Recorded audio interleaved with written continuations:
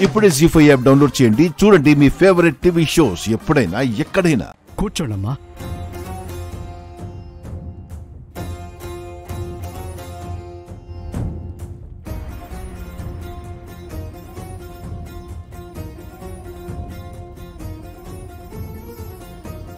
దోషం ఉందమ్మా. ఇప్పటిది కాదు. ఏడేళ్ళ నుంచి ఉంది. ఈ కాలంలో తన కాపురంలో కష్టాలు కూడా ఉండి ఉండాలే అవునండి.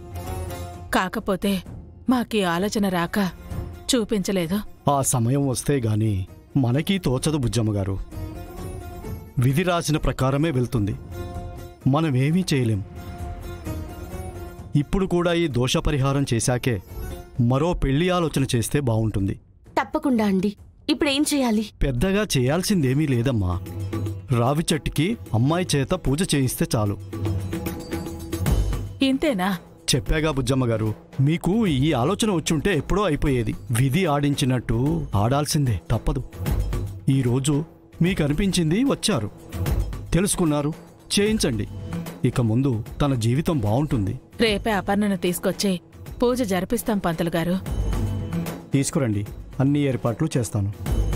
వస్తామండి వస్తామండి. మంచిదమ్మా. వెళ్ళిరండి.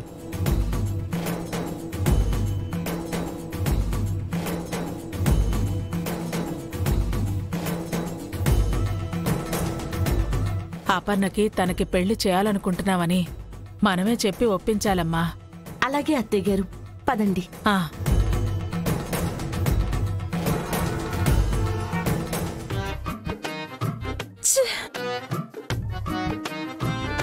అమ్మా ఎలా అయితేనే అన్ని అమ్మేసావండి భూపతి గారు. అసలు ఈ గంప మోసి మోసి నాకు తలనొప్పి వచ్చేసి మెడ పట్టేసిందండి. బాబు. నాకు మాత్రం సుఖంగా ఉంటుందా శృతమా నాకు సేమ్ ఫీలింగ్ కలెక్షన్ ఎంత వచ్చిందో లెక్క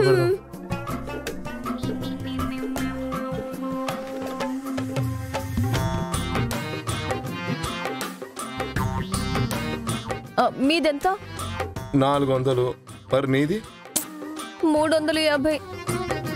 ఏడు వందల యాభైకి ఇంత పులుసు కార్చుకున్నాం. అమ్మో ఇదే కంటిన్యూ అయితే మనం చచ్చి ఊరుకుంటామండి. బాగా చెప్పావు. మ్మ్. అమ్మో. తూ, తూ. ఏందయ్యా అరుపు? మొహాలేం దాచుకుంటారులే గాని? మీ దగ్గరికి కూరగాయలు కొనటానికి వచ్చినప్పుడు మిమ్మల్ని చూశానుగా.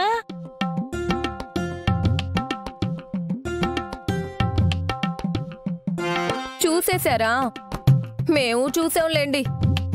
మంచివన్నీ పుచ్చులని ఏరిపడేసి మేం వెళ్ళాక జోలు పట్టుకొని మీరు ఏరుకోవడం మేం చూడలేదనుకున్నారా? బా సర్లే అమ్మాయి. ఇప్పుడు నేను మిమ్మల్ని దెప్పి పొడవడానికి రాలేదు ఇక్కడికి. మనకి ఈ పరిస్థితులు పోవాలంటే మనకి డబ్బులు అవసరం. దానికి నా దగ్గర ఒక చిట్కా ఉంది. చెప్పింది చక్కగా వినేశారనుకో చేసేయచ్చు. ఏంటి చేసేది? నీ తొక్కలో చిట్కాలు వింటే చేతికి బొచ్చే వస్తుంది. ఏమొద్దమ్మా? చేసిన పాపాలు చాలు. ఆ పాపాలని ఇప్పుడిప్పుడే కడుక్కుంటున్నాం ఈ మాటలు మనకు సూట్ అవ్వవులే భూపతి. ఇంకో మాట చెప్పు. ఏంటి చెప్పేది? మేం చెప్తున్నాం కదా. చూడమ్మాయి మీరు పాపాలు చేసే విధంగా నా దగ్గర ఐడియాలు ఉండవు. నాతో సహకరిస్తే చెరో తలకి పది పదిస్తా. పదంటే ఎంత? కాస్త క్లారిటీగా చెప్పు బేబమ్మా. పది రూపాయల పది వందల పదివేల. పది లక్షలు. పది లక్షల? శృతమ్మా. మీరు ఆశ పడకండి ముందు అదేంటో ఆవిని చెప్పనివ్వండి అది చెప్పడానికేగా వచ్చింది? ఇదిగో నా పేరున కోటి రూపాయలకి ఇన్సూరెన్స్ ఉంది. నేను రేపు పోయాననుకో ఆ కోటి మనకు వచ్చేస్తుంది అందులో మీకు పది పది. శృతమ్మా పది పది అంట. బా మీరుండండి. ఇందులో ఏదో కిరికిరుంది. ఆవిడ పోతే కదా కోట్ వచ్చేది ఆవిడే లేకుండా మనకెలా ఇస్తుంది? ఆ, ఎలా ఇస్తావమ్మా? ఎలా ఇస్తావు. మీ ఆలోచనలు అక్కడే ఆగిపోయాయి కాబట్టి మీరు ఇక్కడే ఉండిపోయారు. అవును మరి. మీ ఆలోచనలకి మహారాణి అయిపోయారు కదా. మీరు చేస్తే వచ్చే ఆ కోటి మీరు అనుభవించకుండా పోతారంటే మేం నమ్ముతాం అనుకోకండి. మేమేమీ పిచ్చోళ్ళం కాదు. బా పూర్తిగా వినరు కదా. నేను నిజంగా చస్తానా?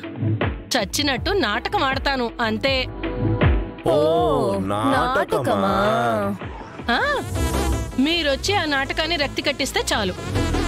ఆ ఇన్సూరెన్స్ వాళ్ళు వచ్చి చూస్తారు చెక్ వచ్చేస్తుంది.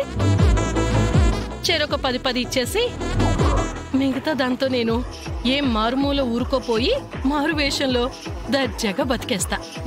బానే ఉంది కానీ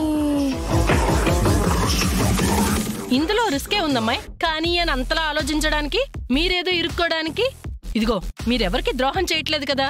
జస్ట్ వస్తారు నాకు సహకరిస్తారు వెళ్ళిపోతారు. అంతే కదా? ఇంతే కదా శృతమా? పది పది వస్తాయి చేసేద్దాం.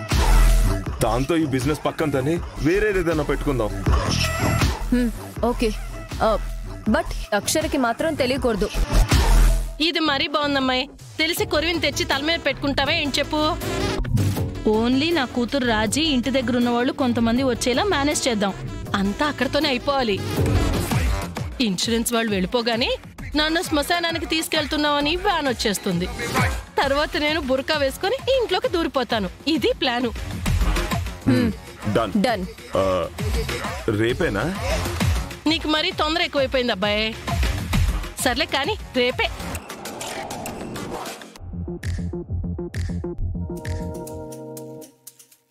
ఛ, నాటకం మొదలు పెడదామంటే వీళ్ళు ఇంకా రాలేదేంటి? వచ్చారా? మీకు నూరేళ్ళు. మీకు మాత్రం ఈ రోజే బేబమ్మా. ఆ, అదే.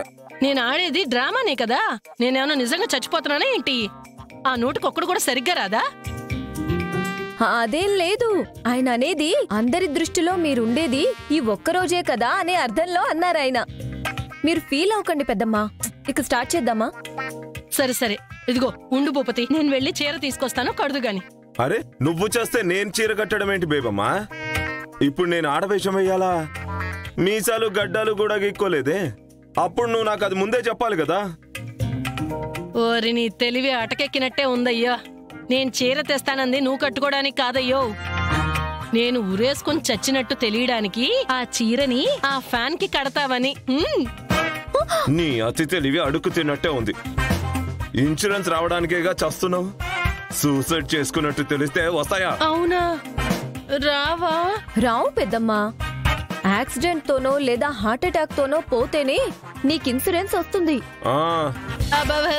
ఇప్పుడు యాక్సిడెంట్ ఎందుకులే? టైం సరిగ్గా లేకపోతే నిజంగానే చచ్చిపోతాను. గుండె పోటు కొంచెం బెటర్ అనుకుంటా. మరి చచ్చినట్టు వచ్చి పడుకో మొదలెట్టేద్దాము. ఆ, ఇదిగో ఒక గంటలో ముగించేద్దామే? ఇదిగో రాజీ ఇన్సూరెన్స్ వాళ్ళకి ఫోన్ చేసి రమ్మని చెప్పు సరే సరే అమ్మా. సెటప్ వేయండి. జీ ఫైవ్ యాప్ డౌన్లోడ్ చేసి అన్ని ఎపిసోడ్స్ పూర్తి ఉచితంగా చూడండి.